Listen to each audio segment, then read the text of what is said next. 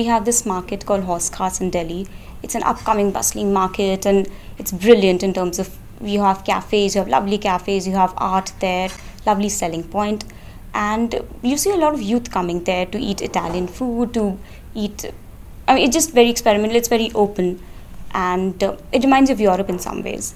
Some of the small streets, and then there you have bang in the middle of that market a bhajan going on. What is a bhajan? Bhajan is a religious procession. It's a it's a puja that happens, and so there you have like you know you have India going towards modernity, towards being what it is more youthful, and then you have also the religious that bit of it that you know we are still in the past somewhere.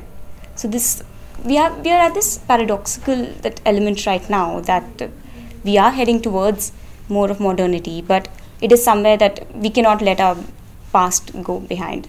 But I think as we are heading more towards being Western, being more modern, there is a certain kind of uh, past that I think we would like and we are forgetting in our own way. And that is something but I don't necessarily agree that we should be doing, but uh, it is just happening.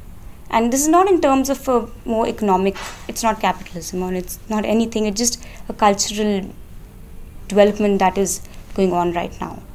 And in terms of India, which is not just the youth, if you look at urban and rural, there's a huge disparity right now.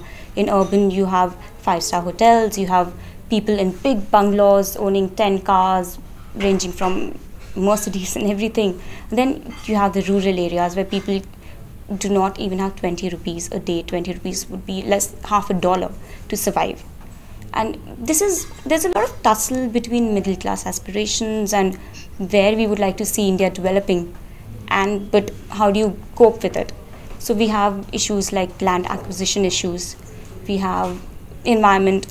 How far are you willing to let your development how far can it impinge economic development? How far can it impinge on your environment and ecological development? So i think that whether we admit it or not is a big issue in India as of now.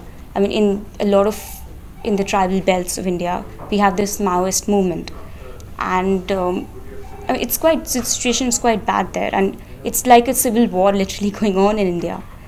But uh, the government is also making efforts to do something, but there's just a lot of disparity, and this is coming because of a certain neglect of the rural areas, which is there.